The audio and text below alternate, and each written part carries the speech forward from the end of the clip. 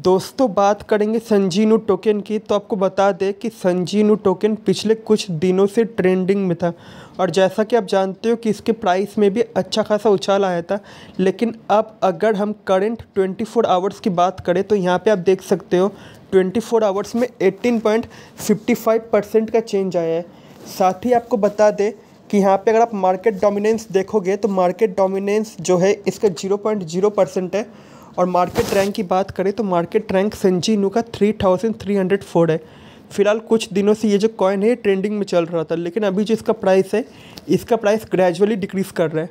यहाँ पे आप देख सकते हो कि अब ये 18.55 परसेंट डिक्रीज़ कर चुका है। आप बताओ कमेंट करके आपने संजीनू टोकन लिया है कि नहीं?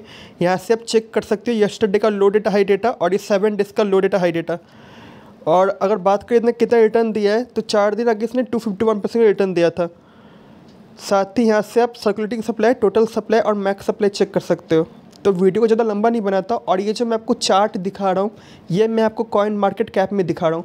और ये जो चार्ट है आज का ही चार्ट है ट्वेंटी टू अप्रैल का। साथ ही चैनल को सब्सक्राइब कर लो और बेल आइकन प्रेस करना मत भूलना।